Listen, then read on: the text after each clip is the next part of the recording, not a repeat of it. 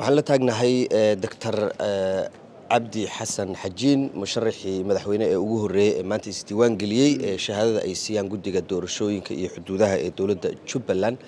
Musharax soo dhowo marka ugu horeysa dareenkaaga aad baan mahadsantihiin dareenkayga waa mid aan la qiyaasi karin waa mid taariikhi ah waa mid aan ugu hambalyaynhayo dadka reer jubbaland oo dhan shacabkeeda xukuumaddeeda ciidamadeeda. Dhammaan waa farxad u soo hoyatay dadka reer jubbaland. Dad badan baa kula tartamaya oo madaxweynaha hadda talada haya uu ka mid yahay. Marka rajadaadu intee la eg tahay seeta? Rajadaydu waa boqolkiiba boqol. Madaxweynaha waxaan aaminsanahay inuu wakhtigiisii xilhayntu ay dhammaatay obenna uu yahay inuu dadka la tartamo.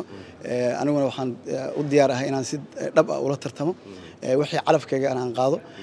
Saa umaana ku kala baxaynaa bokiskaas ina loo dhigo ayaan aad u rajeynayaa dadka soomaaliyeed dadka reer jubbalandna intaasay sugahayaan musharaxiinta hadda ku tartamaysa xilka madaxweynuhu ka mid yahay aad baad u kala aragti duwan tihiin doorashada waa isku haysaan sida muuqata.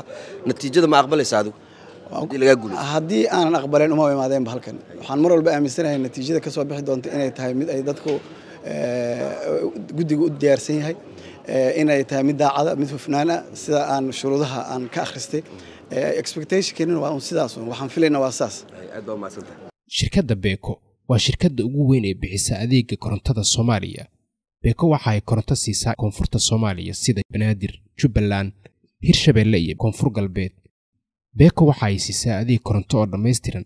Dhammaan toddobiiyo tobanka degme ee gobolka banaadir iyo goobaha ugu waaweyn magaalada muqdisho sida ayrboorka aadan cadde dekedda muqdisho iyo dhammaan safaaradaha iyo hay'adaha caalamiga ah